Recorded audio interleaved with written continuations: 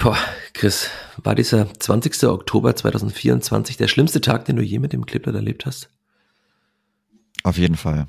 Also da gibt es, glaube ich, nichts Vergleichbares, nicht mal, nicht mal annähernd. Also man hat ja schon, also ich habe auch schon eine Derby-Niederlage zu Hause erlebt, auch dieses 1 zu 3 2017, aber das hatte auch ganz andere Vorzeichen und andere sportliche Vorzeichen, aber auch ähm, die Art und Weise, wie man da jetzt verloren hat, war schon extrem. Es war extrem und es war historisch, weil das Clippert tatsächlich, wie du sagst, hat schon mal ein Derby zu Hause verloren, 2017, 2018. Damals ist der erste FC Nürnberg aus, aufgestiegen.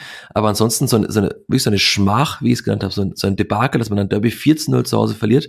Da muss man schon sehr weit in der Geschichte zurückgehen und das hatte ich auch in einem Kommentar am Sonntag direkt nach dem Spiel geschrieben. Wir hatten ja auf NNDE zwei Kommentare, einen zum Club, einen zum Clipblatt, also quasi ein Sieger, ein Verlierer-Kommentar.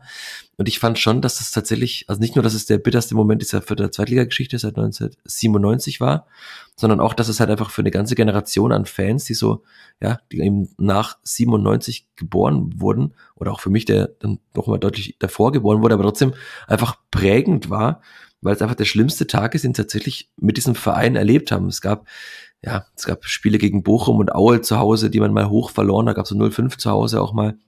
Es gab Kerber-Spiele, die wirklich nicht schön waren, die man sich dann schön getrunken oder schön gegessen hat danach. Es ging alles, aber dieses historische Ausmaß eines 0-4 im Derby zu Hause, noch dazu mit dieser Leistung, mit den Umständen, damit, dass man sich kaum gewehrt hat gegen diese Niederlage, dass man einfach irgendwie alles hat geschehen lassen, das war wirklich prägend, oder Chris?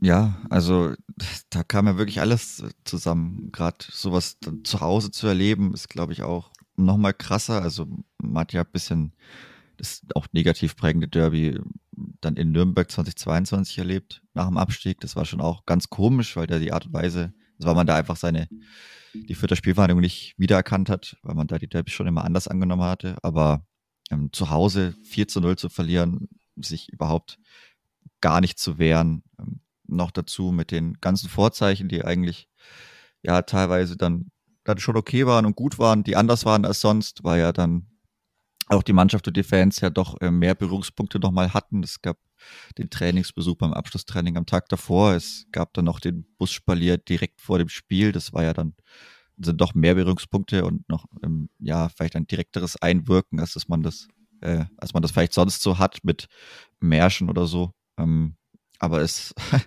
hat anscheinend nichts gebracht, vielleicht auch noch irgendwie negativ beeinflusst. Ich weiß nicht. Ähm, also wie das dann dabei äh, herauskommen kann, ist schon wirklich, also da, da fehlt einem jeglicher Erklärungsansatz auch. Ja, der fehlt sehr viel, dieser Erklärungsansatz. Ich habe ja am, am, Sonntagabend schon mit vielen Leuten gesprochen. Wir haben Nachrichten bekommen. Grüße an alle, die sich an mich gewandt haben. Sorry an alle, an denen ich nicht ausführlich genug antworten konnte, die kein, keine Zeit hatten, oder für die ich keine Zeit hatte, um zu telefonieren. Aber es hat jeder irgendwie versucht, damit fertig zu werden. Und keiner hat es irgendwie geschafft, jeder hat es irgendwie versucht. Wir versuchen es in dieser Folge auch wieder für uns selbst damit irgendwie, ja, das irgendwie alles aufzuarbeiten. Ähm, für euch alle vielleicht auch, weil wir wissen ja, dass es manchem und mancher von euch auch einfach hilft, das einfach nochmal anzuhören, ähm, wenn wir darüber gesprochen haben, mit auch Einordnung, vielleicht auch eine Bestätigung, dass man selber das nicht äh, so schlimm nur gesehen hat, sondern dass es jeder so wahrgenommen hat, Chris. Aber du hast auch gesagt, äh, beim Abschlusstraining fandest du die Reaktion der Mannschaft jetzt auch nicht so gut. Also ich fand tatsächlich ja den, den Trainingsbesuch rein von, von Fanseite fand ich ihn gut, wie ich ihn wahrgenommen habe. Es waren erstaunlich viele Menschen schon vor 11 Uhr da. Es war laut, es gab äh, Spruchbänder, Fahnen. Also das war tatsächlich was, was eine Mannschaft vor einem Derby vielleicht schon nochmal pushen kann, weil sie, weil es auch bei allen die Sinne schärft oder bei jungen Spielern, dass man auch sieht, was das für die Fans bedeutet, dass es halt keines von 34 Spielen ist, auch wenn es genauso wie in allen anderen Spielen nur drei Punkte gibt. Aber dass es schon mehr war, aber du sagtest, dass du da schon, sagen wir mal, eine fehlende, was nicht, Wachheit, Intensität, Geilheit, wie auch immer wahrgenommen hast. Ja, also ähm, es gibt ja dann immer so seinen Ablauf, es gibt noch ähm, spezielle Worte, die dann ja der Vorsänger an die Mannschaft richtet in dem Fall. Aber auch danach irgendwie, also währenddessen, danach, da, da sieht man irgendwie nicht so, wenn man den Spielern in die Augen schaut, dann war es selbst in diesem ähm, ja, speziellen ähm, Aufriss, den man da gemacht hat, nicht, nicht viel anders als manchmal nach den Spielen. Also die schauen dann nicht so richtig, ich weiß nicht, fokussiert, da, sind, da ist keine Schärfe im Blick, da ist, sind die, werden die Sinne nicht richtig geschärft, zumindest kommt es überhaupt gar nicht rüber. Es war relativ normal, ja, die haben natürlich mitgemacht, ein bisschen mitgehüpft und geklatscht und das war okay, aber ähm, auch danach, also äh, meiner Meinung nach darf es da ruhig jemanden geben aus der Mannschaft, der da den Vorsprecher macht und vielleicht auch mal aus dem Mannschaftskreis nochmal Schritte nach vorne macht, ähm, auf die Leute zugeht, die da sind, um da nochmal eine Bestätigung vielleicht zurückzugeben, äh, dass man sagt, ja, man erkennt das an, dass die Leute da sind, das ist gut, dass die Leute da sind, man kriegt das mit, man weiß, um was es geht. Ja, wie auch immer das jetzt abgelaufen ist, aber auch für diesen Samstag, für den Moment, ähm, dass man sagt, ja, wir wissen, was es geht, wir sind es auch geil, wir sind geil drauf, wir sind heiß drauf auf morgen, auf das Spiel. Aber da gibt's einfach niemanden. Also es ist dann irgendwann so, da gibt's dann eine Ansage, dann macht, gibt's ein, zwei Lieder, Schlachtrufe, wie auch immer. Und dann ist einfach rum. Ähm, das verstehe ich nicht so richtig. Also da fehlt vielleicht auch der Charakter der Mannschaft, da fehlen vielleicht einzelne speziell oder sagen wir vielleicht spezielle Charaktere, ähm, die da so eine Aufgabe übernehmen, die dann vielleicht auch den Moment erkennen, dass es sowas braucht, wenn es sowas schon abgesprochen nicht gibt aber dass es da niemanden gibt, ähm, dass es da wirklich diesen Austausch gibt, der nicht immer nur in eine Richtung geht, sondern da darf es ruhig auch mal was von der Mannschaft zurückgeben in der Art und Weise. Das hat es da leider wieder nicht gegeben. Ähm, es war nicht ganz so schlimm. Also es war ja, wie gesagt, das war jetzt nichts, nichts Schlimmes passiert oder es war jetzt auch nicht extrem, aber ähm, das ist dann schon was, was ich vielleicht auch erwarte oder was man sich erhofft. Einfach dann auch diese Bestätigung, dass halt Dinge ankommen und das auch für die Leute, die da sind, nochmal die Leute geil machen, die Leute heiß machen, wenn man da nochmal Worte aus dem Mannschaftskreis hört. Ich glaube, das wäre schon ganz gut. Und im Endeffekt hat ja, wenn man es jetzt so will, ja, retrospektiv immer ein bisschen witzig, aber ich hatte schon ein, kein gutes Gefühl nach dem Spiel in Düsseldorf, äh, gegen Düsseldorf, nachdem man da spät verloren hatte. Die Verabschiedung zum Derby, ja, die war drei Wochen vorher und ja, war unglücklich, weil man noch spät verloren hatte, aber wie da die Mannschaft auch vor der Nordtribüne stand, wie kaum jemand mitmacht, mithüpft, wenn man wirklich noch nur noch 20 Sekunden zumindest ein bisschen mitwippen oder so. Das sollte schon drin sein, aber auch da und ja, ich weiß, das war hart ähm, nach diesem Spielende, aber selbst da merkt man, da die die da wird nach oben geschaut. Ich, das sind ganz ganz leere Blicke da wird kein richtiger einzelner Blickkontakt vielleicht hergestellt. Da sieht man keine Schärfe im Blick. Also das ist ja doch, doch was, was man auch mitbekommt, die Körpersprache, ähm, wie jemand zurückschaut. Das hat ein bisschen, das fehlt ein bisschen und im Endeffekt ging das, hat sich das ja über, auf das Spiel dann auch drüber gelegt. Also da war ja absolut nichts dann da, also kein Situationsbewusstsein das ganze Spiel über. Man hat es einfach mit sich geschehen lassen und deswegen auch ich glaube auch, auch deswegen, weil es auch auf dem Rasen keinerlei Reaktion gab, egal, mal verbal, mal ein Zeichen setzen, mal in Infight gehen, ich weiß nicht. Äh, da gab es ja nichts und das ist dann auch das, was es, glaube ich, im Gesamtbild auch so schlimm macht. Ja, die 04 ist natürlich auch super schlimm, aber auch was dann während den 90 Minuten sonst noch passiert ist, nicht nur die Tore. Das ist schon ja. ein brutales Gesamtbild. Jetzt haben wir acht Minuten schon gesprochen und noch keine Sekunde über dieses Spiel, aber wir haben ja schon damit jetzt sehr viele Erklärungsmuster für das Spiel geliefert, so blöd es klingt. Wir können jetzt schon am Tag danach wieder ein bisschen lachen, vielleicht äh, ertragen wir es auch nur mit ein bisschen Ironie und Humor, aber ich glaube auch, wir machen es wie jede Woche und reden einfach nochmal drüber, weil es gab dann doch einige Parallelen zu früheren Spielen, aber man muss schon nochmal die Szenen auch in Gänze und Gesamtheit anschauen und das machen wir, wie ihr das gewohnt seid, nach einer kurzen Unterbrechung. Bis gleich. Der Fürther Flachpass wird Ihnen präsentiert vom Immobilienteam der Sparkasse Fürth. Kaufen, verkaufen, finanzieren, absichern und modernisieren. Alles aus einer Hand. Sparkasse Fürth. Ihr Ansprechpartner in Sachen Immobilien. Fürther Flachpass. Der Kleeblatt-Podcast des Verlags Nürnberger Presse. Und damit herzlich willkommen zur 193. Folge des Vierter Flachpass. Auch nach dieser historischen Schmach, nach diesem 0 zu 4 des Kleeblatts gegen den 1. FC Nürnberg, nehmen wir in der gewohnten Besetzung auf, nämlich mit mir, Michael Fischer und mit Chris Sehm. Hallo Chris. Servus Michi. Chris, ist jetzt Montagmorgen, Montagvormittag. Hast du das, was am Sonntag passiert ist, schon nach einer Nacht Schlaf und nach ein bisschen, oder nach vielen Gesprächen, nach ein bisschen Quatschen, schon irgendwie verarbeitet oder wirkt es immer noch komisch, surreal? Ja, dieser ganze Tag war dann einfach schlimm. Also auch was vielleicht dann ansonsten noch im, im Block passiert ist, so zum Ende des Spiels, nach dem Spiel, war ein ganz gruseliges Gesamtbild, hat dann, also für mich zumindest äh, im ersten Moment ähm, dann ein bisschen Emotionen rausgenommen nach dem Spiel, weil man dann sich auf andere Dinge konzentrieren musste, kurz noch, aber ähm, ich weiß nicht, also es war ganz, ich finde trotzdem, dass die, die Stimmung war, oder auch dann, vielleicht auch danach, in, in Gesprächen danach, also nach dem Spiel außerhalb des Stadions, es konnte halt keiner so wirklich fassen.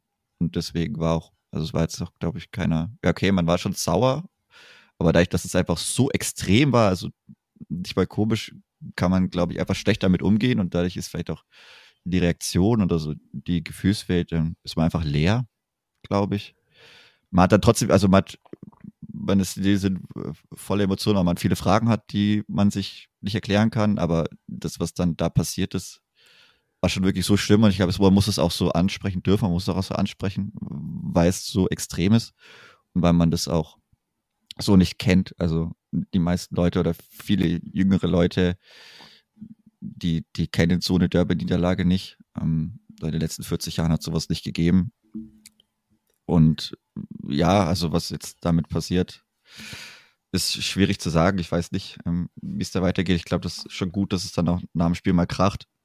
Ähm, ob es die Mannschaft so lange da bleiben muss, weiß ich nicht. Für zwei, drei Takte vom Vorsänger hätten auch gereicht und dann wieder gehen, weil irgendwie es führt jetzt zu nichts. So richtig. Man will ja. ja auch dann keinen mehr, also bin ich auch so ehrlich, man will ja auch niemanden mehr sehen. Also das ist wirklich, dann reicht's und dann kann man für sich noch ein wenig sauer sein, aber ähm, in, in dem Moment dann so nahe zu kommen, wenn man sonst wirklich achtmal gebeten werden muss, um näher zu kommen, wenn es irgendwie positiv aufwunderte Worte vielleicht auch gibt, dann das hat sich für mich erschließt sich dieses Bild dieser Mannschaft äh, manchmal überhaupt nicht. Ähm, aber gut, das war jetzt so, wie es war. Vielleicht sagt er manchmal, okay, sonst heißt wieder, die verpissen sich, kann ich auch verstehen, aber in dem Moment wäre es vielleicht besser gewesen, wenn man dann nach zwei, drei Takten irgendwie dann einfach in die Kabine geht und das auch dann dieses Spiel dann dabei beruhen lässt, weil mhm. danach kommt nichts mehr Gutes zustande.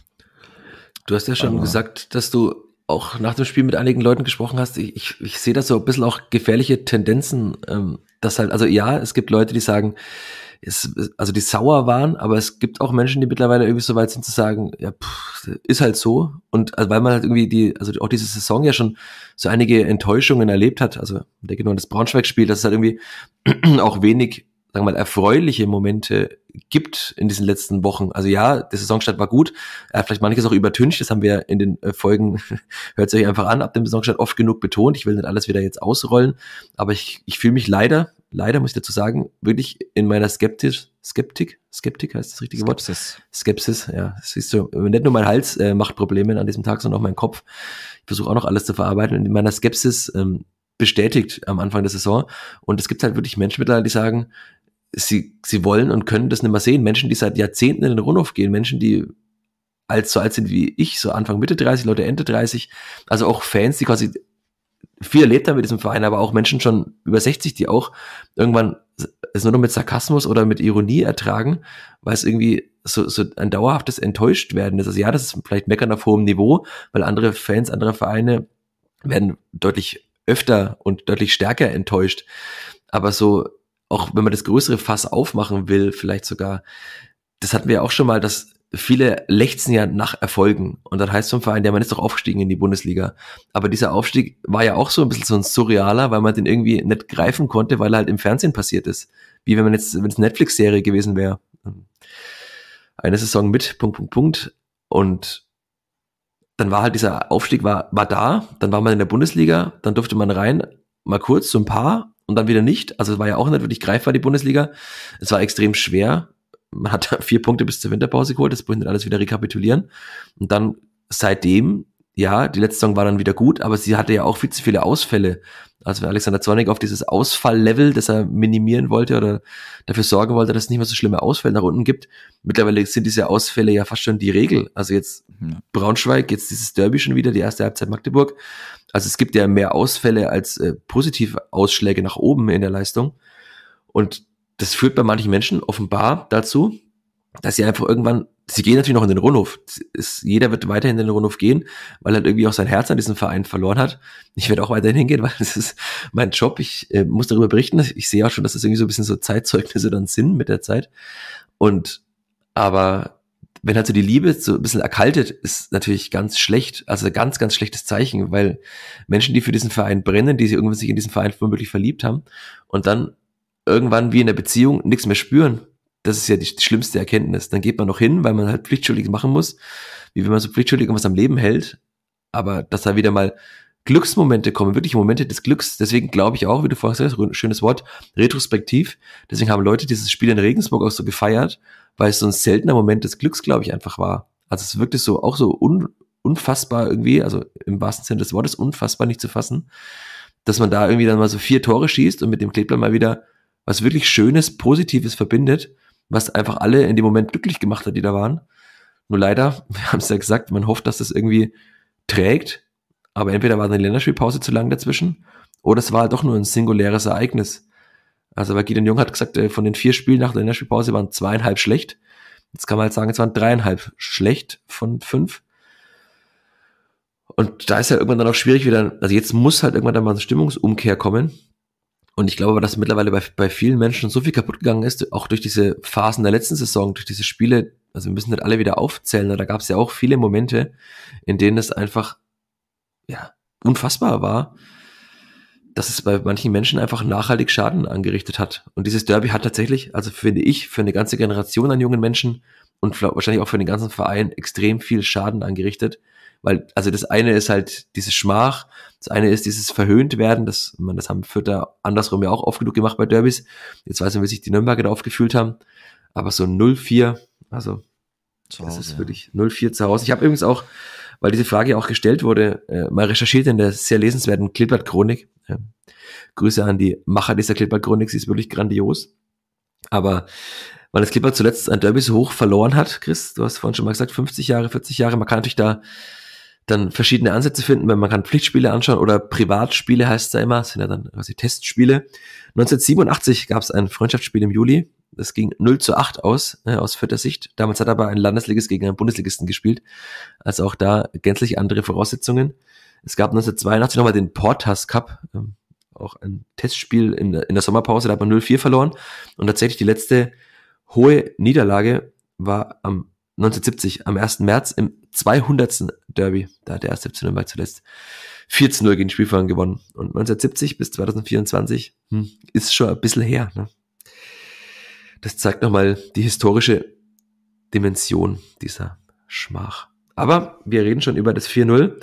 Und wenn wir ins Spiel gehen, steht es noch 0 zu 0, Chris. Mhm. Aber es stand ja es ist sehr schnell, so blöd es klingt. 1-0, sehr schnell 2-0. Und es stand tatsächlich nach 18 Minuten wieder 2-0. Ähm, diese Frage habe ich Branimir Gotha nach dem Spiel gestellt, ähm, wie es sein kann, dass man schon wieder nach 18 Minuten 2 zu hinten lag. Und als Antwort kam dann, dass man ja da in Magdeburg zurückgekommen sei. Hm. Okay, ja. ja. Äh, das war nicht die Erklärung, die ich hören wollte, aber ja, äh, auch das ja mal Einschub, wenn man immer betont, dass man zurückkommt, muss man irgendwann auch rausgegangen sein. Also, wenn ich in mein Wohnzimmer zurückkomme, muss ich vorher irgendwann rausgegangen sein. Und das, wenn man in das Spiel nie reinfindet oder immer irgendwie rausfliegt aus dem Spiel, um dann wieder zurückzukommen, man kann einfach mal in einem Spiel drin sein, da muss man nicht zurückkommen. Aber das Klippert war nicht drin in diesem Spiel und kam auch nie mehr rein. In der 13. Minute eigentlich ein schöner Angriff vom eigenen Torweg. Gideon Jung, ich habe beobachtet, hat den Ball mit dem Fuß gestoppt beim Abstoß, nicht mit der Hand. Mhm.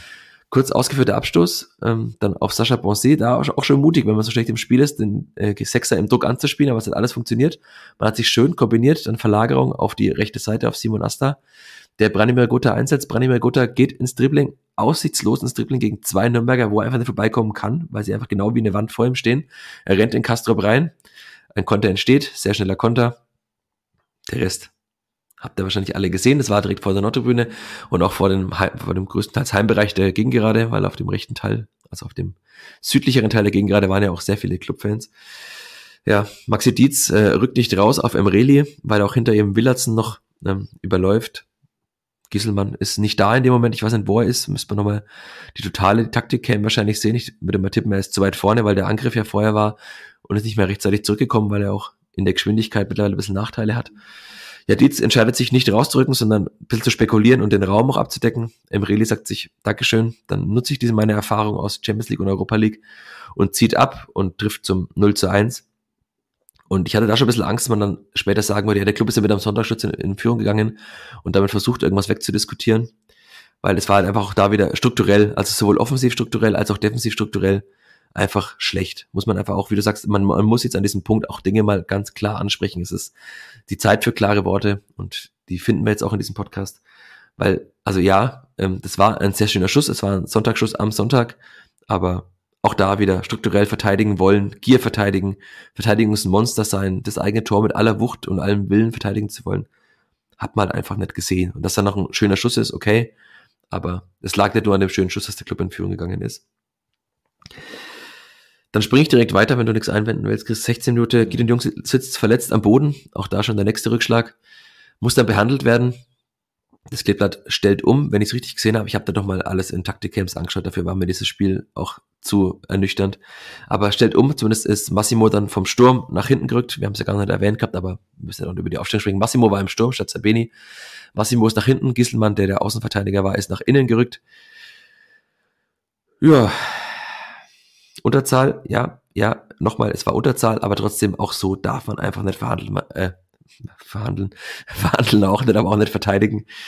Ähm, man hat gar keinen Zugriff, der Club verlagert das Spiel, weil man keinen Zugriff hat von der rechten Nürnberger Seite auf die linke Nürnberger Seite. Da steht Suarez, ähm, Asta ist viel zu weit weg von Suarez, weil er sich vorher wie die gesamte Vierterkette nach links orientiert, kommt dann auch nicht mehr rein. Suarez spielt den Ball in die Mitte und dann ist eigentlich Mayhöfer im Ball, im, zum Zeitpunkt des Abspiels ist Mayhöfer näher zum Ball und Zimas läuft halt einfach im Vollsprint den Ball entgegen, läuft an Mayhöfer vorbei, der sein Körper nicht reinsteht, einfach gar nichts macht in dem Moment und Zimas macht den rein und es steht 2-0 nach 18 Minuten und dann war es eigentlich vorbei. Ne? Ja, dann gab es noch einen Verliererkreisel und dann war es eigentlich vorbei. Also Verliererkreisel, dürfen wir nicht so schon nennen. Ja, schon. Also wenn ich den, wenn ich den sehe, reicht's mir eigentlich immer schon, weil dann, das ist immer schon, das, das ist dann das letzte Eingeständnis davon, dass es so nett geht an dem Tag. Ähm, auch da, da kommt ja auch wenig Aura daraus. Also ich habe jetzt da nicht das Gefühl, dass es da die krassen Ansagen gibt. Dann muss man vielleicht auch ein bisschen körperlicher reagieren. Ich weiß nicht. Also kennt ja diese in anderen Sportarten die ZNS-Aktivierung. Vielleicht auch ein bisschen bekannt von Olympia, Judo. ähm, wieder manche Judo. Schellen verteilen, meinst du?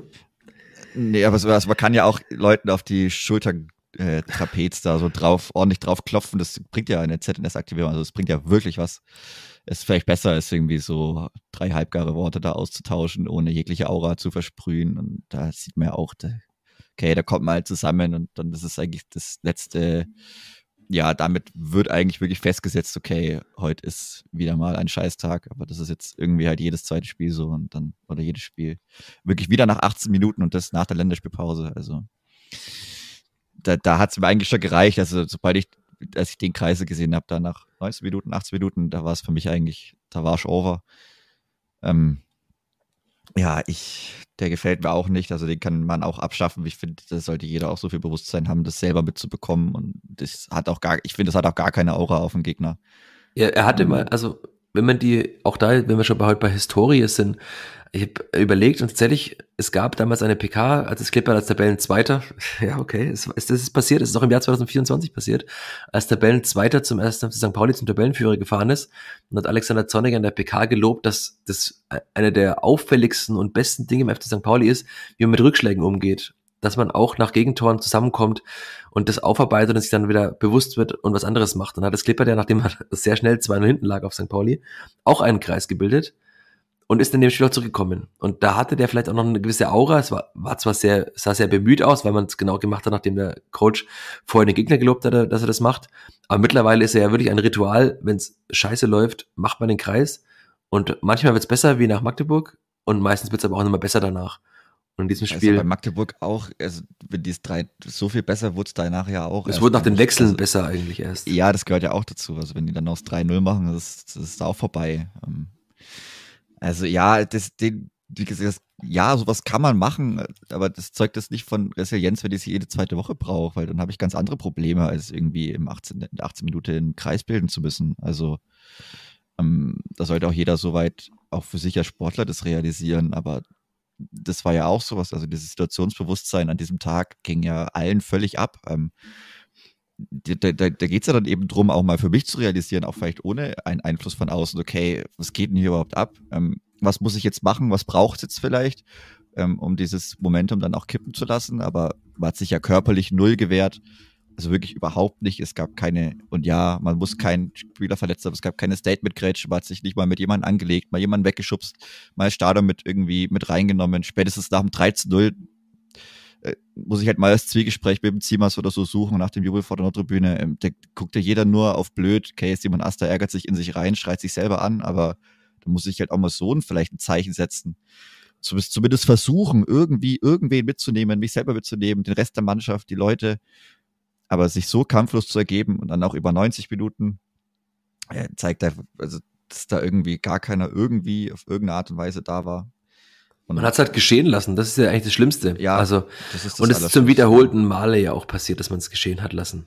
Also, ja, diese Widerstandskraft gab's und die war auch immer wieder zu sehen, aber man hat schon auch sehr oft sich einfach ergeben. Und natürlich ist es irgendwann auch für den Kopf nicht einfach. Ich habe äh, in Vorbereitung auf den Podcast nochmal die erste halbe Stunde des Spiels angeschaut. Nein, macht's nicht, es war nicht schön. Aber alles für die Qualität. Und da hat der Kommentator auch gesagt, das ist irgendwann jetzt auch eine Sache zwischen den Ohren. Ähm, ja. Das, und wenn du halt das einmal hast in einem Spiel, okay, aber jetzt halt es ständig zu haben und ständig diese Aussätze zu haben, ständig viele Gegentore zu kassieren, das ist das nächste, wo wir auch noch sprechen müssen, dann, dann ist es irgendwann halt einfach ein so krass psychologisches Ding. Und mir fehlt da der Glaube, dass man das einfach mit einem Sieg, weil da kommt ja auch, wir müssen wieder Glücksmomente haben, müssen wieder Punkte einholen, aber ein Sieg, ich weiß nicht, ob das halt dann noch funktioniert, weil diese Mannschaft, wie sie jetzt neu zusammengestellt ist, hat halt am Anfang glücklich dann auch die Punkte geholt. Und auch die Punkte waren wirklich gut, wenn man jetzt auf die Tabelle schaut.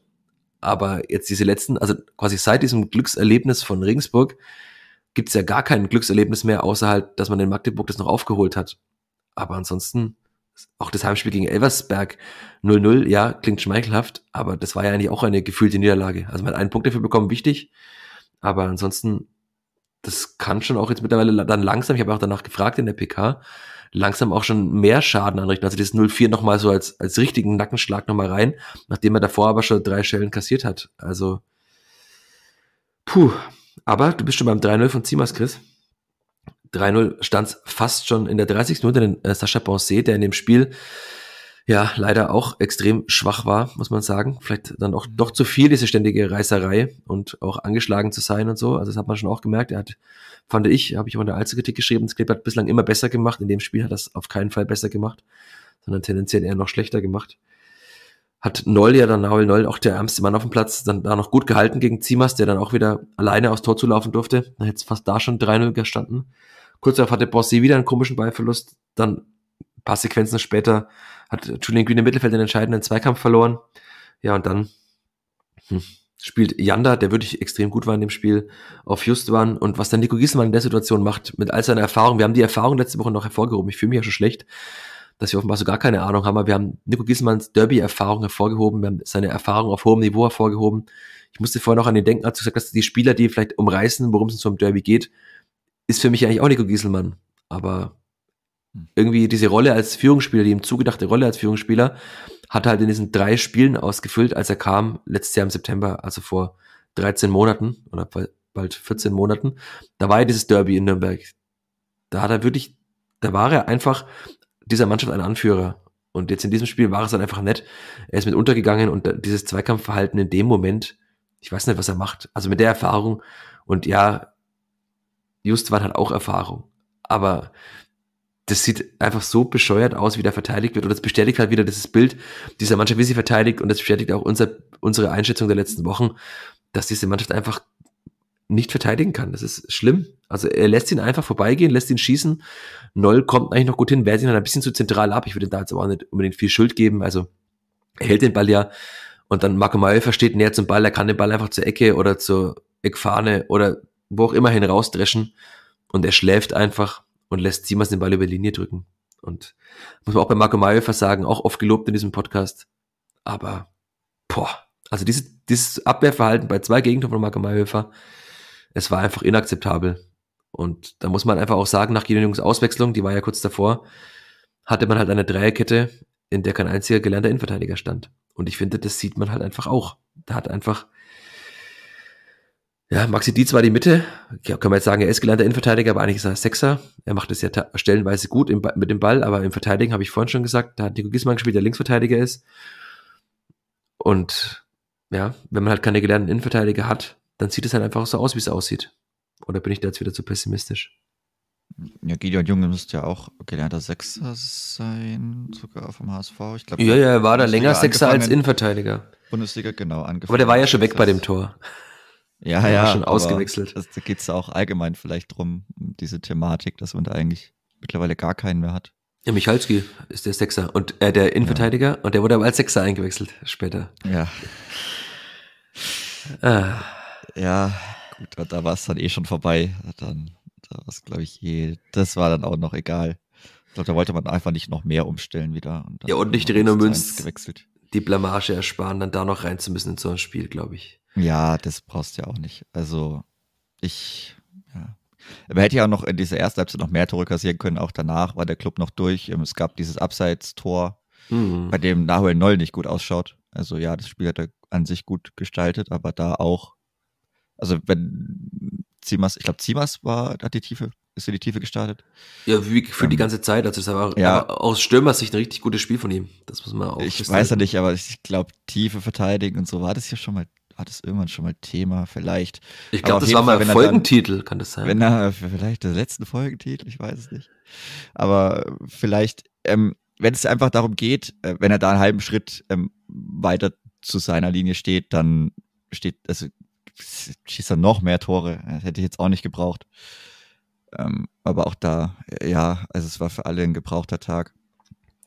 Ich, dieses, es ist einfach unerklärlich, also wie man immer wieder zu verteidigen kann, wie es, äh, es ging ja auch, wie gesagt, schon drum, schon vor dem 0-1, äh, der Dreieck, das war dann, glaube ich, der dritte Konter, der auf dich zurollt und stehst da irgendwie auf der Tribüne und denkst, was ist denn hier los? Äh, Es wird nicht mehr verteidigt. Zweikampfquote über das ganze Spiel, also schlimm, ähm, sehr schlimm. Also es gibt ja mal phasenweise ähm, Dinger, dass man da mal wenig Zweikämpfe gewinnt, aber ein Drittel der Zweikämpfe zu gewinnen Ja, 33 Prozent. Also und auch da. vielen auch aus dem Weg zu gehen. Also Ja, das genau. gehört ja auch noch dazu. Man hat ne? nicht Vor alle dem geführt. Ja, hat ja. nicht Also auch geführt. vielen aus dem Weg zu gehen. In, und ja, dann nochmal in, in so einem Spiel, wo ich dann auch manchmal jemanden einfach umhauen muss, wenn gar nichts geht. äh, äh, Das ist, ähm, ich, ich, ja, man weiß halt überhaupt nicht, wo das herkommt und dass da jeder äh, sei, seine Federn einzieht, ist wirklich hart. Also ähm, gerade weil man ja auch verschiedene erfahrene Spieler hat. Ähm, Julian Green hat Branimir Gotha, der aber seit Wochen, glaube ich, auch mit der Situation dann auch ähm, überfordert ist irgendwann. Ähm, die, ja, den man aber auch trotzdem nicht rauslassen kann als Kapitän der Mannschaft. Ich glaube, ja, bei Nico Giesemann, er spielt halt dann zu, auch vielleicht manchmal zu wenig, um dann dieser Führungsspieler dieser ähm, Mannschaft zu sein, weil er dann noch nicht so ein Kaderspieler ist wie vielleicht Enrico Valentini, bei dem man sagt, okay, machst Teilzeit kannst du an der Pizzeria arbeiten, ansonsten bist du noch ein bisschen für gute Stimmung da und halt eben, um mal im Derby ähm, äh, von der Bank einfach noch wirklich der zwölfte Mann zu sein. Das war ja auch ein, ein eindrückliches Zeichen. Das hat Alexander Zornig ja schon mal gelobt in früheren, ich würde fast schon sagen Jahren, dass die Bank dabei war, dass die Bank mitgefeiert hat. Und das war für mich, also dieser Wille beim Club, dieses Spiel zu gewinnen. Der Kollege Fadi Geblavi hat es in seinem großen Text in den Zeitungen und auf den Ende ja auch geschrieben, diese Szene, dass Emreli einfach einen Einwurf von der Trainerbank einfach feiert, weil er diesen Einwurf für seine Mannschaft geholt hat. Wie diese Bank, wie Martinia und Valentini da die, das ganze Spiel standen, wie sie gefeiert haben. Und auf der vierter Bank war nix. Also Patrick Rutte, der Physio, war noch der emotionalste, hat einmal Geld bekommen, weil er äh, Nürnberger beschimpft hat. Aber ansonsten von Spielerseite war da einfach gar nichts. Und ja, ich weiß nicht, äh, ob das auch noch überraschend ist. Also natürlich, das ist eine andere Historie dann dahinter, ne? Bei, bei Valentini und auch bei Martina, die haben mit diesem Verein Auch- schon so viel erlebt. Und auch im ganzen Kader, auch die Nachwuchs, also Ja, Nachwuchsspieler, ist dann schon mal eine andere ja, Verbindung oder auch Leute, die da Sachen erzählt bekommen oder die halt in der, in der Jugend, in der Jugend schon, diese, ja. Diese Spiele spielen, die das in der Schule mitbekommen. Ähm, das ist ja in, in Fürth jetzt im Profikader jetzt eher weniger gegeben. Ja, vor allem, weil ja die beiden Spieler, die quasi aus der Fürther Jugend stammen, da gar nicht gespielt haben oder auch nicht im, im Kader waren. Also Philipp Müller war krank, der das Pfaffenrot war auch nicht im Kader, hat am Freitag bei der U23 gespielt, in Klammern da auch ein Tor geschossen. Es ging 3 zu 3 nach 3-0 Führung fürs Klippert aus. Punkt. Aber das ist natürlich auch ein Unterschied. Also das müssen wir vielleicht noch mal in einer anderen Folge beleuchten. Aber es gibt halt nur zwei Eigengewächse im, im Kader. zumindest im Profikader. Einer davon hat am Anfang der Saison gespielt, der andere spielt keine Rolle. Ja, auch das ist ein, ein Thema, aber es ist kein Thema nach dem 0-4 im Derby. Aber man hat es in diesem. Spiel einfach gesehen, die Nürnberger Mannschaft hat mehr gelebt und das ist halt andersrum dann zu sehen, dass diese vierte Mannschaft so gar nicht lebt. Wenn man jetzt an einem Abstiegskampf auch angekommen ist, boah, das ist ein schwieriges Zeichen. Also bei anderen Mannschaften, die da unten drin stecken, ja, hier in Regensburg lebt, glaube ich, auch nicht mehr so viel, aber auch Preußen Münster, die, glaube die leben noch mehr ähm, als die Spielvereinigung. Und das ist dann schon, also ja, wenn es wieder Einwände kommen, hat es auch in Magdeburg gesehen, dass die Mannschaft lebt, aber dafür war es halt auch schon mal kurz mal nicht lebendig. Also, sorry für die harte Formulierung, aber da hat sie ja auch geschlafen in Magdeburg. Und also dieses Spiel war in so vieler Hinsicht desillusionierend, aber das ist für mich fast die schlimmste Erkenntnis, dass diese Mannschaft sich einfach gar nicht gewehrt hat dagegen. Ja. Und du hast gerade gesagt, die erste Halbzeit, aber ja auch in der zweiten Halbzeit. Es gab einen Doppelwechsel zur Pause, Konspruch für Gieselmann und Itter für Borsee. Dann gab es einen Schuss von Jermaine Konspruch, der aber auch ja schon deutlich drüber ging.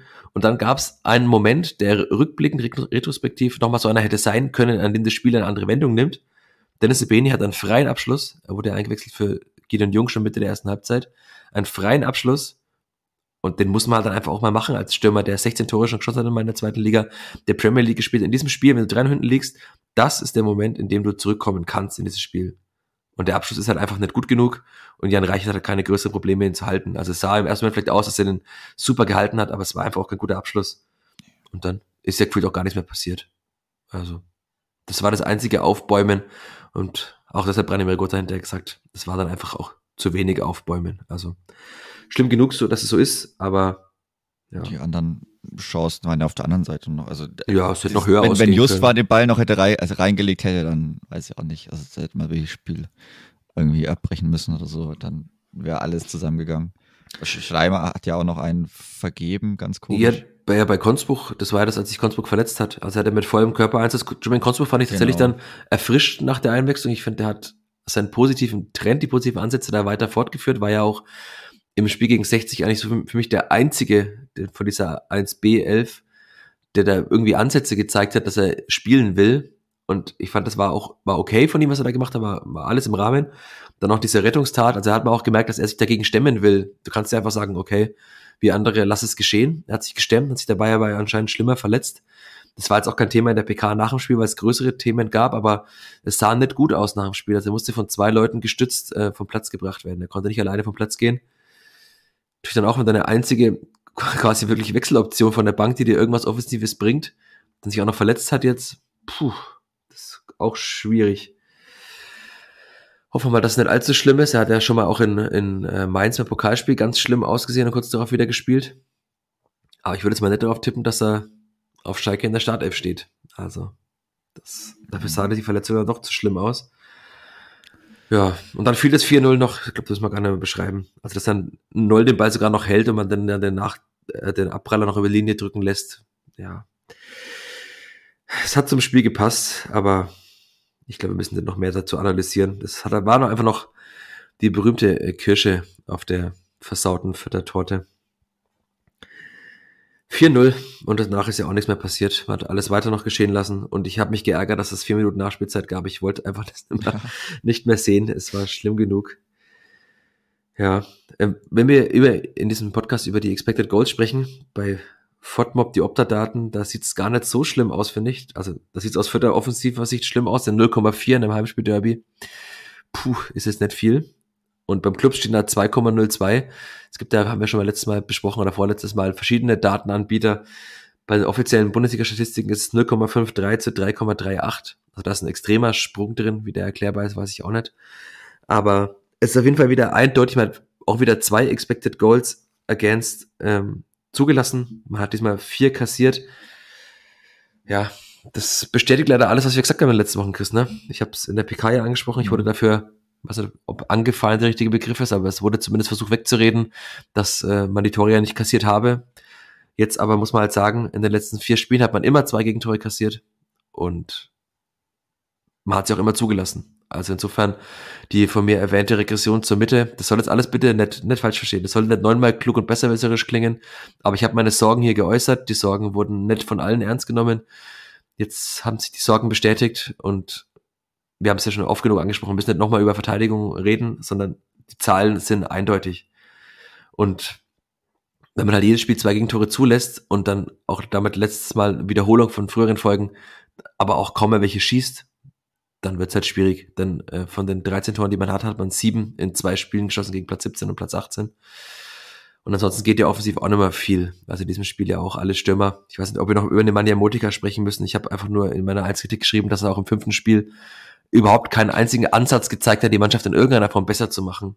Und das ist ja auch dann schlimm. Also wenn du halt die Minuten immer wieder bekommst, teilweise auch mehr Minuten bekommst, es war knappe halbe Stunde in diesem Spiel und so gar keinen Ansatz zeigst, ähm, ja, es ist schwierig dann als junger Spieler, der neu dabei ist, in der Mannschaft, die untergeht, irgendwie rauszuragen. Aber dann, wir hatten es auch schon besprochen, zehn Sekunden liegen zu bleiben, wenn die Mannschaft im eigenen Angriff ist und gar nichts dabei zu haben. Dieser eine Pass aus dem Rückraum, genau zum Gegner ans 16er, ich weiß nicht. Ja, oh also, oh Gott, ja. Das war alles so ernüchternd und also Roberto Massimo war ja anfangs im Sturm gar nichts. Die für der Dribbling-Quote war, glaube ich, bei 12 Prozent oder so gewonnene Dribblings. Ich hatte es irgendwo mal gespeichert, ist ja auch egal. Sie war auf jeden Fall ganz knapp vor der Einstelligkeit. Ähm, ja, Noel Foot Coy leider auch wieder, dieser eine Kopfball, ja, den hält auch jeder Torwart. Ansonsten auch sehr blass. Dennis Ebeni muss man auch sagen, blass. Der eine Schuss aus 16 Metern, gefühlt drei oder vier Meter drüber. Mustafa gar nicht fit. Pop und Favorit haben jetzt äh, bei der U23 beide ein Tor geschossen, aber in diesem Testspiel gegen 60 auch beide eindrücklich bewiesen, dass sie sehr weit weg von der zweiten Liga sind, finde ich.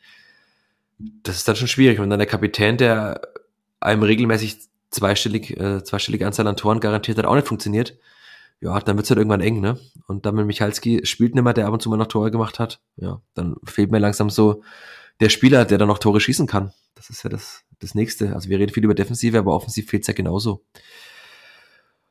Und dann weitere, weil wir bekannt sind für Statistiken, habe ich mal die Formtabelle angeschaut, Chris. Denn die Formtabelle ist ja, man kann seit diesem Regensburg hoch die Formtabelle anschauen. Also einfach nach dieser Länderspielpause Anfang September. Das Kleeblatt steht auf. Dadum, dadum, dadum. Chris, die Antwort ist Platz 17. Platz 17 mit 3 zu 10 Toren und 2 Punkten in der Formtabelle der letzten 5 Spiele. Schlechter ist nur der SSV Jan Regensburg mit 0 zu 14 Toren und 0 Punkten. Ja, das ist auch eine sehr erbauende Statistik. Aber man ist besser als Jan Regensburg immerhin, der, die seit, glaube ich, dem dritten Spieltag kein Tor mehr geschossen haben und 14 Gegentore kassiert haben in den letzten fünf Spielen. Hm, glaube ich, kein Grund, stolz zu sein. Und besser als das Clipboard auf Platz 16 ist der FC Schalke. Der kommende Gegner. Der kommende Gegner, der vier Punkte geholt hat aus fünf Spielen und sieben zu elf Tore hat. Ja, und jetzt spielt das Kleeblatt in den nächsten beiden Spielen gegen den FC Schalke und Jan Regensburg, beide Male auswärts. Dein Take, Chris, dazu, zu den nächsten beiden Spielen. Uh, also allein jetzt schon das ganze, oh, das, es hätte so eine schöne Geschichte werden können. Derby-Sieger Express nach Schalke fahren. Ähm, über 1000 Vierter kommen ja mit, das wurde auch vor dem Spiel nochmal thematisiert. Jetzt mit der Stimmung mit 1000 Viertern nach Schalke zu fahren, naja, äh, also man es wird eine lange Fahrt. Man kann sich bestimmt trotzdem, die wird, ich glaube, die Fahrt wird trotzdem schön für alle, die da mitkommen und auch sonst. Ähm, 1000 Leute auf Schalke ist ja trotzdem was äh, mit. Vielleicht kann man damit ein bisschen was für sich anfangen. Bei denen geht es allerdings auch darum, dass der Trainer sein Heimdebüt hat. Also nachdem das, das Auswärtsdebüt gründlich misslungen ist. Da ist auch nochmal äh, dunkle Magie mit im Spiel. Ähm, ich glaube, die waren schon auch, ja, das Auswärtsdebüt war auch grottenschlecht. Also, ähm, puh, da wird man vielleicht auch schauen, ähm, wenn man da wieder früh ein Gegentor kassiert, ich glaube, da überrollt dich die Arena einfach. Und die haben schon auch die Leute, ähm, die die Tore schießen können, auch wenn jetzt Karaman ausfällt. Ja, Karaman gelb gesperrt, ja. Ge genau, ähm, aber Silla oder so, ähm, ja, äh, ich weiß nicht, Tobi Moore, wenn er nicht wieder so einen Aussetzer hat auf der anderen Seite, weil er doch noch ein bisschen weiß-grünes Blut in seinen Adern hat, dann schießt er schon auch manchmal Tore. Und auch ansonsten ist die individuelle Qualität schon ganz gut. Bei denen ist halt nur so die einzige Hoffnung, dass sie ja auch nicht verteidigen können, also so gar nicht. Ähm, von daher, ja. Äh, Aber äh, 0,4 Expected Goals habe ich da nur im letzten Spiel. Der Club kann ja eigentlich auch nicht verteidigen. Also das könnte ja auch Ja, das ist, das ist ja das ganz Traurige noch. Also wenn man sich diesen ersten FC Nürnberg diese Saison angeschaut hat bis jetzt, ähm, auch in die Spiele, die sie gewonnen haben, also Ulm oder Münster, das war ja trotzdem schlecht. Und das ist ja das noch traurigere Erkenntnis, dass das sah aus wie den Tabellenführer erst FCN ja, verloren hat. Sah aus wie Prime Barcelona in diesem Spiel. Gegen ein erst FCN, die vor Münster schon gefühlt vor der Trainerentlassung standen. Dann tut es auch nochmal noch mehr weh. Ähm, jetzt auf Schalke, also man muss schauen, dass man irgendwie vielleicht die äh, Leistung von vor äh, etwas weniger als einem Jahr ähm, abrufen kann, weil die war gut. Die war leider auch Schalkes Leistung relativ gut. Keke hatte da seinen Durchbruch, glaube ich. Das war sein erstes ähm, Spiel in der Startelf damals. Ja, es war auch wieder die. Es war ein ausgerechnet klarste. Geschichte, ja. Das, das habe ich aber schon gewusst, als ich die Startelf gesehen habe, dann, aber ich die erst sehr spät gesehen hatte, weil da, ja, Anreiseprobleme gab. Aber ansonsten muss man irgendwie schauen, dass man muss jetzt, also jetzt, das ist wirklich der Test, ob man irgendwie dagegenhalten kann. Man hat jetzt keine Pause mehr. Das ist jetzt, geht jetzt einfach weiter. Man hat dann vielleicht die Chance, irgendwie schnell noch was umzubiegen. Aber wenn man da auch so verteidigt, dann gehst du unter und dann bist du mit dem Gefühl am Dienstag drauf, drei, eins, zwei, drei Tage drauf, ähm, nach Regensburg fahren, die natürlich eine beschissene Saison spielen, aber die sagen sich, ey, wir spielen im Pokal, Samstagabend daheim, da ist dunkel, da kommen, Dienstag, kommen vielleicht noch ein paar Leute. Ja, Dienstagabend, ja. Wenn das jemand am Samstag nach Regensburg fährt. Nee, Dienstagabend daheim. Die sagen sich natürlich auch, okay, äh, scheißegal, was in der Liga passiert, das ist ein anderer Wettbewerb, vielleicht geht noch mal was. Und wenn die dann ein Tor mal schießen, dann, ja, ähm, da ist natürlich auch die Fallhöhe relativ groß ähm, nach dem letzten Spiel in Regensburg. Das ist, kann auch nochmal so eine blöde Geschichte werden, wenn es ganz doof kommt. Aber ja, und man hat ja die erste Halbzeit darf man auch nicht vergessen in Regensburg. Also ja, eine bessere Mannschaft schießt da zwei Tore. Ja, ja, das gehört leider auch dazu. Ich glaube, das haben wir schon mal gesagt in diesem Podcast, dass der bessere Mannschaft Tore schießt, wenn sie diese Chancen bekommt. Hm. Ja, wenn es die ganze Mannschaft noch kommen. Aber Robert Glatzel ist verletzt. Und anscheinend, ja, weiß ich ja. nicht, was beim HSV jetzt passiert. Die haben trotzdem gewonnen. 3-1 gegen ja. Magdeburg trotzdem gewonnen, gegen den Tabellenvierten. Ja, gut. Ja, ah, ich weiß auch nicht. Also irgendwie, also das ist jetzt, also jetzt gilt's. Also da, zeigt sich dann auch endgültig der Charakter. Ich finde, der zeigt sich schon immer mal wieder, dieser Mannschaft. Ist, trotzdem ich habe schon länger mal immer mal wieder meine Bedenken geäußert. So richtig ausgeräumt werden die langfristig leider noch nicht. Und aber da, da gilt's dann, weil sonst dann ist die Stimmung komplett, dann ist halt vorbei. Also Schalke und Pokal muss mindestens neutral gestaltet werden mit vielleicht Unentschieden und Sieg. Alles andere, ja, alles andere geht nicht. Ja, vor allem, also tatsächlich, dieses Pokalspiel muss man ja auch sagen, ist es trotzdem mit das leichteste Los, das man haben kann. Also man ja, könnte auch in der Bundesliga in Dortmund spielen oder bei Dynamo mit der Wucht, die dich überrollt. Die Form von Jan Regensburg, würde ich mal sagen, ist ja die eines Drittligisten. Und es gibt noch zwei andere Drittligisten in diesem, äh, in der zweiten Runde nur noch. Gibt, glaube ich, ja keinen Viertligisten, oder wenn ich richtig im Kopf habe. Also tatsächlich ist es eines der leichtesten Lose, das man hat. Und dieses Geld, was man damit einnehmen kann, wenn man das jetzt wieder leichtfertig verspielt und dann wieder, man hört, ja, wir haben ja kein Geld, um neue Spieler zu holen, in der Winterpause, ja, wir haben ja kein Geld, dann vielleicht um einen anderen Verteidiger zu holen oder was auch immer, dann kann ich es wirklich nicht mehr hören. Also weil diese die Chance auf 800.000 Euro, da liegt schon, der Tresor ist offen, du musst nur hingehen und es dir holen. Aber ja, dann höre ich wieder, ist ja die zweite Liga, da ist nichts äh, berechenbar. Aber auch, auch wenn es mir schwerfällt, es jetzt anzusprechen, weil ich lange ein großer Verteidiger von ihm war, aber man muss halt auch sagen, wenn jetzt Schalke und Regensburg nochmal schief geht, dann wird es halt auch für Alexander Zorniger tatsächlich dünn. Also dann fehlen ja irgendwann auch die Argumente. Wenn du halt dann fünf Spiele in Folge sie jetzt schon nicht gewonnen hast, dann wären es sieben Spiele in Folge ohne Sieg. Und man merkt ja auch, dass irgendwie auch so langsam die Sachen halt verpuffen. Also da kommt irgendwie nichts mehr an. Früher hat es ja auch oft geschafft, die Mannschaft wieder wach zu rütteln. Das war das, was er oft danach gesagt hat, wenn es Negativmomente gab, dann gab es immer wieder danach eine Reaktion darauf, also auch auf diese massive Auswahl aller Systeme in Rostock damals und so. Es gab immer wieder Spiele, in denen man es dann gepackt hat. Oder man hat, war zu Hause einfach extrem stark, was einem ja auch geholfen hat in dieser Zeit, in der man halt im Abstiegskampf unten war. Jetzt ist man in der Heimtabelle mittlerweile nur noch auf Platz 13. Ähm, fünf Spiele, fünf Punkte. 5 zu 8 Tore, also das auch zu Hause keine gute Bilanz mehr. Man hat äh, zu Hause und auswärts gleich viele Punkte geholt. Nur ein Sieg zu Hause am ersten Spieltag, jetzt kommt dann der zehnte. Also das ist schon auch nicht viel. Und ich will auch, also ich will nicht sagen, es liegt alles am Trainer. Also weil der Trainer kann nichts dafür, wenn, wenn Verteidiger einfach nicht verteidigen. Also ja, da kann man sagen, vielleicht ist der, der Verteidiger, der Verteidiger spielt kein Innenverteidiger. Dann kommen wir zum Thema Kaderzusammenstellung. Aber den Willen zu haben als Fußballspieler, wenn ich näher am Ball bin, den Ball einfach ins Auszuschießen, den muss man haben. Und das liegt dann nicht am Trainer. Und aber trotzdem, das sind die Mechanismen des Profifußballs. Ich glaube, dessen ist sich Alexander Zorniger auch bewusst. Ich fand die PK von ihm nach dem Spiel schon sehr nachdenklich, sehr ruhig. Also kurz mal sauer, dann wieder sarkastisch, aber ist er, glaube ich, sich auch bewusst, dass diese zwei Spiele jetzt extrem spannend werden und falls die einigermaßen gut werden, die nächsten drei Spiele auch spannend werden, weil dann spielt man gegen Darmstadt zu Hause, die ja auch noch in der Tabelle hinter einem sind, oder? Wenn ich es richtig im Kopf habe. Also das sind jetzt sehr entscheidende Wochen, zumindest waren sie sehr lange dahinter, ja. Also eine Mannschaft auch, die mit unten drin steckt, also noch keine von weiter oben. Und dann kommt Köln. Und ja, der SFC Köln ist auch eine Wundertüte, da kann alles passieren, aber die können dich offensiv halt auch überrollen und dann wird das Trömmische sehr oft gehen in diesem, im Müngersdorfer Stadion, wenn du da nicht verteidigst. Und dann ist schon wieder Länderspielpause. Also es sind auf jeden Fall sehr entscheidende Wochen, aber ich würde erstmal sagen, es sind jetzt sehr entscheidende Wochen bis, also sehr entscheidende acht Tage, nehmen am Montagvormittag auf bis zum nächsten Dienstagabend. Also wenn auf Schalke Niederlage steht und man den Pokal ausscheidet, boah, ich möchte es nicht erleben. Und aber das Schlimme ist ja, man kann sich einfach auch vorstellen. Also wer diese Mannschaft wie leblos sie agiert hat in diesem Spiel, kann sich halt leider einfach vorstellen. Und wie du sagst, es wird jetzt eine Charakterprobe. Und da zeigt sich halt wirklich, ob man dieser Situation gewachsen ist. Also man hat in den letzten Jahren ja schon jetzt nach dem Abstieg einige Momente gehabt, wo man immer dachte, okay, wenn das schief geht, dann rutscht man wirklich unten rein. Und dann hat die Mannschaft immer wieder gezeigt, also man denke nur an dieses Heimschema gegen Regensburg, was Regensburg? Doch, dass man gewonnen hat gegen Regensburg, als sie dann abgestiegen sind. Dieses Spiel gegen Lauter, dass man in der Nachspielzeit noch gewonnen hat. Man hat ja dann immer wieder geschafft, den Kopf so aus dieser viel zitierten Schlinge zu ziehen. Aber da gab es auch nicht so Phasen wie in dieser Saison. Also, weil ich kann mich jetzt nicht an kein Spiel erinnern von neun, das wirklich über 90 Minuten überzeugend war. Es gab immer wieder Phasen, die überzeugend waren. Aber mittlerweile überwiegen halt die Phasen leider, in denen es nicht gut läuft in dem man nicht gut verteidigt.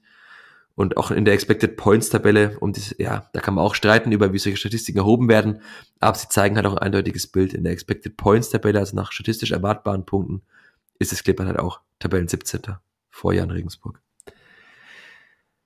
Hm. Keine erbaulichen Worte, Chris, ne? Nee, aber manchmal ist halt scheiße einfach. Das ist gerade scheiße.